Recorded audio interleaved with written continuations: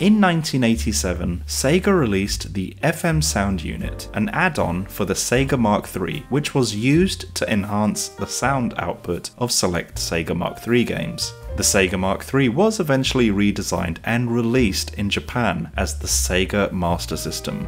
Sega took this opportunity to integrate the FM sound unit into the Master System. However, the FM sound wasn't included for the Master System's international release. The FM sound was also unavailable when playing Master System games on a Sega Mega Drive with the Power Base converter.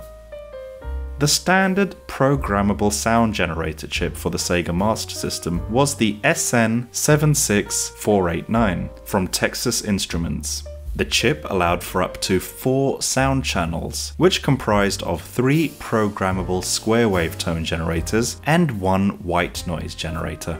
The add-on FM sound unit contains a Yamaha YM2413 FM chip in addition to the existing SN76489 PSG chip adding a total of 9 additional mono sound channels, which improved the sound quality of all compatible games. Unfortunately, not all Sega Mark III or Master System games made use of the FM sound unit. But here are a few examples of Sega Master System game music with and without the FM sound unit.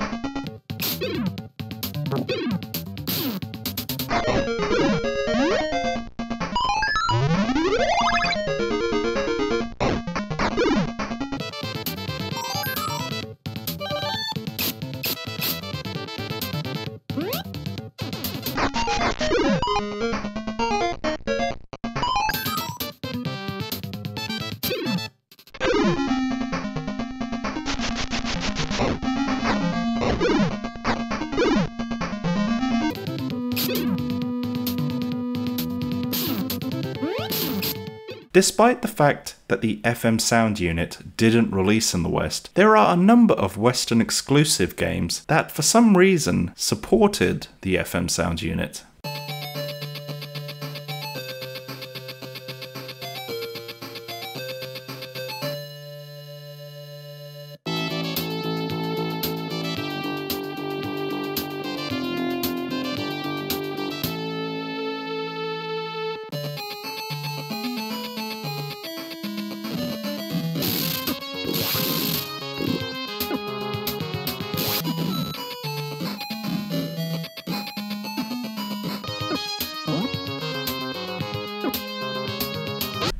And finally, there are the ROM hacks of games that were never designed with FM sound in mind.